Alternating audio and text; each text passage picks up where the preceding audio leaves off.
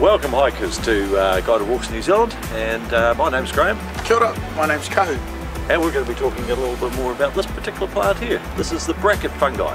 Now it's quite old this plant. Um, if you uh, see it, uh, you can see that it's uh, one, two, three, four, four years old. Generally that's how it's um, aged uh, by uh, very similar to the trees, how you count their rings, you count the wrinkles on this. This particular fungi appears on trees that are dead.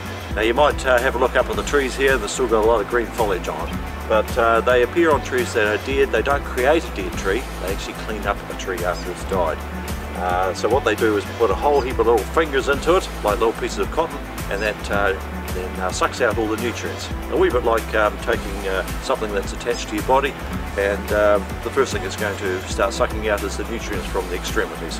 And that's why we see at the top of these trees they've got no hands on them at all, they're all stumps and. A lot of uh, there are a lot of uses of this plant, but the early Maori um, that were settled in New Zealand, you can imagine down here it's very very cold, very rainy, very wet, very hard to start fire, um, and without fire you don't have life.